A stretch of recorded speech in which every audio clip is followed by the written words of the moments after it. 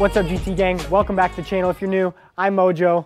I'm Sam. And today we're gonna be working on Sam's 5.7 Jeep Grand Cherokee. It is, uh, it's got a Hemi obviously, it's a 5.7, that's why we're here. Always repping Mopar 24-7, you never have to worry about that. And if you haven't noticed, I've got some merch. It isn't dropped yet, I'm definitely in the early stages, but if you want to um, maybe get set up or even if you're interested, comment down below and maybe uh, we'll get the waters tested a little bit. So without further ado, we're going to be installing a cold air intake K&N kit. Uh, I'll drop the part number down below and this is going to be specifically for a Jeep, or a Jeep Grand Cherokee. It's actually specifically for a 5.7 obviously. What differs from like the 6.1s or the 5.7s that are in the Chargers and 300s is actually the factory setup and the filter sits a little bit farther back. So that is specific to this make and model. So we'll go ahead and get started. And do you have anything to say before we start, Sam? Yeah, I'm ready to see what it looks like. All right, let's go, baby. Okay, so now we are ready to remove this cold this intake that is for the factory. We don't like this sound. Uh, it's almost like a muffler, but for your intake system, it reduces sound because usually people, when they have these, they just want to not hear the engine at all. Well, that's not how we roll. So we're gonna remove this engine cover. It's just got clips on. Uh, we remove this bolt for the hose clamp and there's a clip down here as well as snap clips that you just have to pop off like that. We're gonna pull this off along with this hose.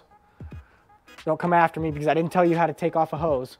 We'll remove that, take this out, and then inspect this case because we'll actually remove this bottom part and replace it with the new one.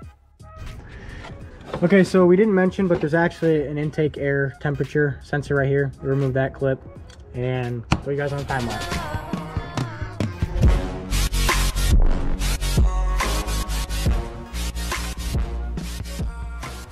Okay, so now that you have the factory uh, intake system removed, you are left with this bottom piece. It actually has a clip here, as long, eh, along with two or three grommets here.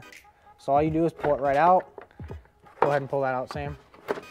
We already pulled it out to make sure we knew exactly what to tell you how to do it. There's two external clips for the top of the intake system right here. And boom, your entire assembly is removed. And make sure you pull these out of the factory airbox. Um, you're gonna need those for your cold air intake. So the new cold air intake system only comes with the two grommet holes. Put the two grommets in, and then we'll set it in. On these two posts here.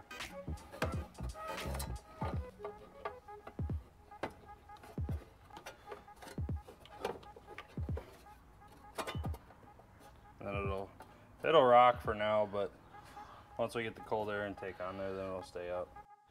Okay, so before you actually install your intake tube, you want to have this leaning back a little bit. So we'll install the filter. Uh, that way, if you install the tube, it'll be leaning up and you won't be able to fit your filter in. You could also install your filter before you do this, but we just thought it'd be a little bit easier so we could see the grommets and how they line. So go ahead, Sam, throw that on. All you need is a Phillips or a flat flathead uh, screwdriver. Or you could use a eight millimeter socket. Yep. So next thing we're gonna do is swap out the intake air temperature sensor. So go ahead and pop that out, Sam. Oh, rotate it. And then we'll swap it out onto the new one. And then we can rotate this whichever way we need to once we get it in. Okay, sweet. Now we're ready to install the pipe. All right, so the next step would be to, actually as you can see with this mocked up, it'll be about right here. Here's your plug for your intake air temperature, and here is the actual sensor. So as you can see, it's not long enough. So K&N actually thought of that and gave you an extended uh, connector. So all we'll do is plug the female side into this one, or the male side into this one, and the female onto the sensor, and we'll be ready to install the tube.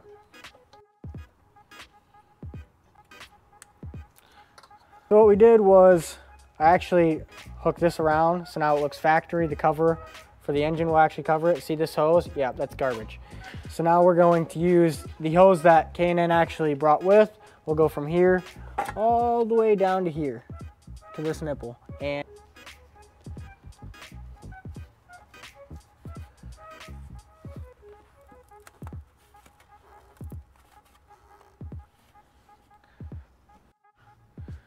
So what Sam's doing now is going over and making sure all the hose clamps are tight, double checking our work, and then we'll put on the weather stripping to seal up against the hood to make it a true cold air intake to keep all the hot air out of the intake.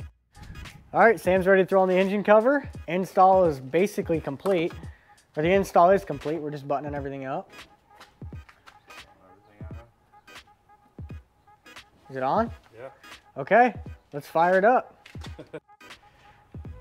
Okay, so we have the cold air intake installed. Everything is ready to go. Everything's buttoned up. Sam's gonna fire it up. Let's hear it.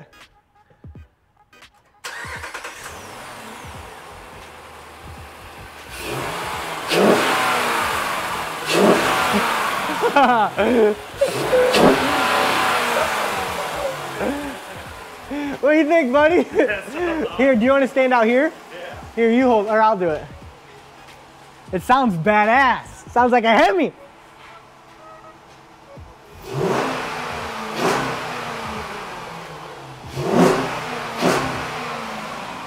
You need to get rid of that rev hang.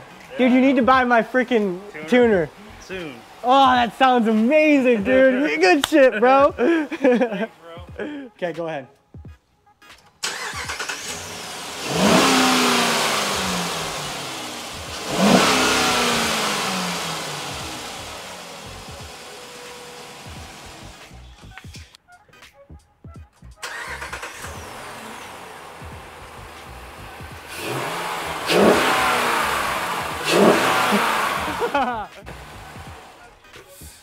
Oh, did you hear that? Holy All right, guys, thank you so much for watching the video. I'm excited, and I bet he's even more excited. Yeah. So there's nothing like working on a Hemi, especially when it only takes 15 minutes.